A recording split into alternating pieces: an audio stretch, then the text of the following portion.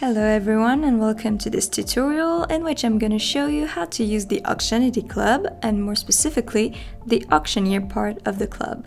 So we'll start on the, the home page of the club and then we're just gonna go into the auctioneer section, then select all auctions. Here you can see all the auctions for which you can apply as an auctioneer. You can filter the assets by category and sort them by columns too. So let's say I want to become an auctioneer for this one. If I click on it, a window will open showing me the details of this asset, such as its price and when the auction is set to end. To apply as an auctioneer, I need to put in some DRT power. Here I'm gonna put in 50 DRT, then click on Apply for this auction. You obviously need to have DRT on your wallet in order to be able to do that. I then get a confirmation message telling me that my application has been taken into account, so that's great. And if no one else applies or has applied to become an auctioneer for this asset, I will automatically become the auctioneer. So on second thoughts, this asset is really cool and I want to be on the safe side and make sure I have put in enough DRT power so that no one will top up my bid. So I'm just gonna click on edit my bid again. This time I'm putting in 100 DRT, then I click on update your bid.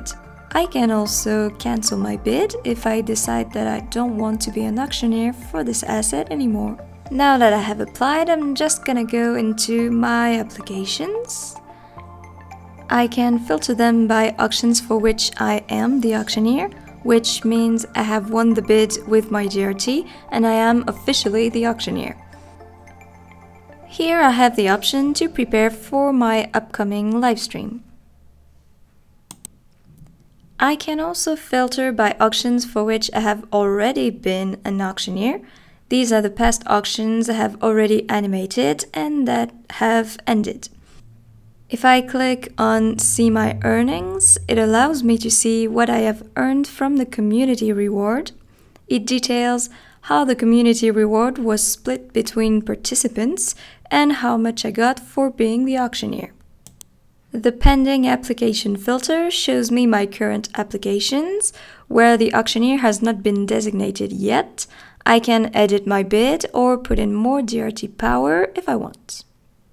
If I go to rejected applications, I will see the auctions for which my bid got topped up by someone else and for which I wasn't designated auctioneer.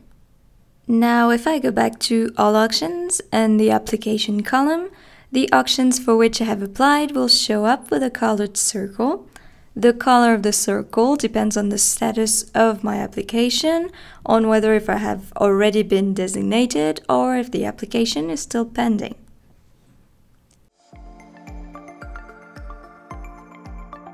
So now I am in the auctioneer section and looking at my applications.